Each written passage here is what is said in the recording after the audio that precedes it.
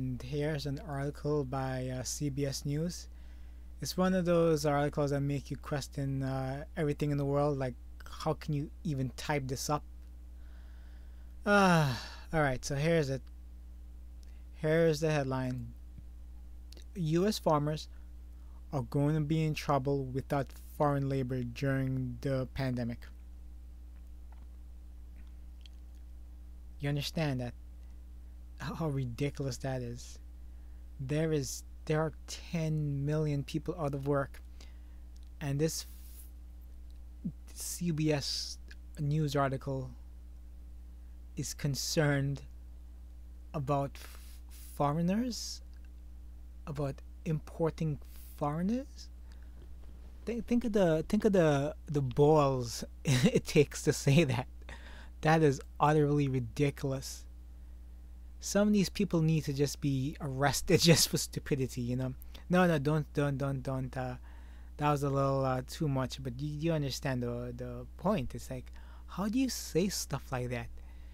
How do you push that stuff, and, and who who would who would actually believe that? That's what I'm wondering. Because there's probably a good percentage of Americans who'd be like, oh yeah, that's true. 10 million people out of work, but we need more foreign labor. That doesn't make sense. Well, let's start. While the spring harvest season is here in America, CBS News spoke to farmers who say there aren't enough workers. Farm labor, mostly migrant workers, filled more than a quarter million agricultural jobs. So we see what this has. We see what they're asking for. Um, Gary stirred up. Worrying about his farm keeps him up at night. All right, so worrying about anybody's job will keep somebody up.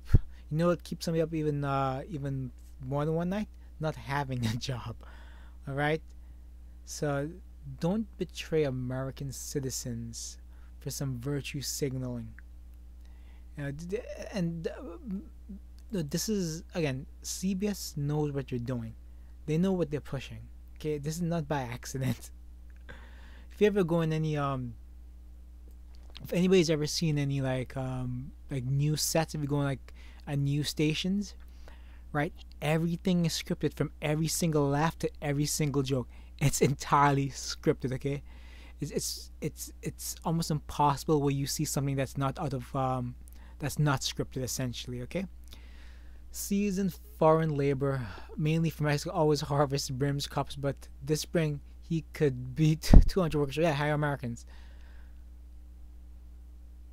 I mean he's facing harvest deadlines. Hire americans. Hire americans you know, I usually feel sorry for farmers, but this this 10 million dollar work, I don't feel sorry one bit. Hire Americans, find Americans. You know, plenty of people would jump on the opportunity to work on a farm. Believe it or not. You know, besides being out of work, it's because they find it kind of. Um, I'm gonna say this. They have a false sense of uh, nostalgia, like it's almost romantic. hey, it's how some people are, you know. But believe it or not, so 70 miles away, uh, Jeremy White is also in bigger trouble. His blueberry crop is days away from harvest, and he needs 100 pickers again. There are people out there. They're stuck in Guatemala. What he wants is cheap labor, where he can give people pennies. Flipping people, man. Like th- there's people out there who want to work, and I find this this this article, especially the timing, really like disgusting absolutely disgusting. Jeez, you know. Domestic labor just don't want this kind of work. It's unfortunate.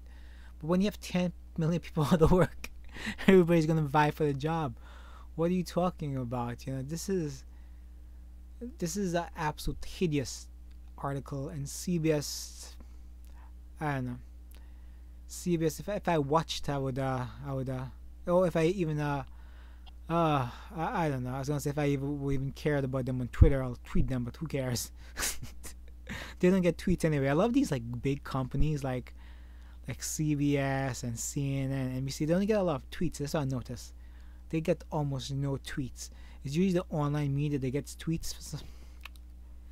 Uh, anyway, this is a this is a crappy article uh, written with a crappy agenda, full of nonsense and CBS should be damn ashamed of themselves for for writing and daring to print such utter trash. This is trash. How dare you say this? especially when uh, America is in pain right now. All right, guys, take care. Hope you enjoyed. This is this was a, a just a absolute abomination of a headline and story by uh, CBS News.